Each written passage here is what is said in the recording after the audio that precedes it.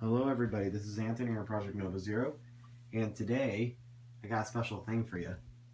I bought a silver V2, you can see it over there, and I was wondering if it had a special board in it, so I turned, I put it inside my red, and long and behold, it's actually a prototype RoboSapien V2 um, board, and you can tell by the dance.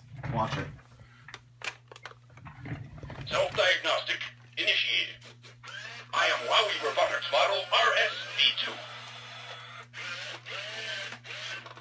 Alright, watch the dance. Understood.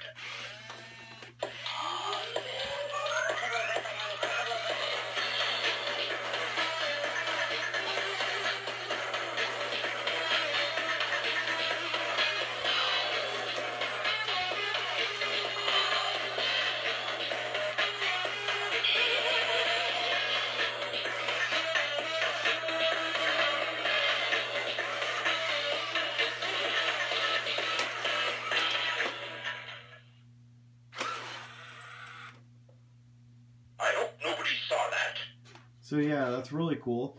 And now it is re- really just like my original Red V2 because my Red V2 did this dance, the first one I had from 2005. So yeah, thanks for watching and I hope you enjoyed.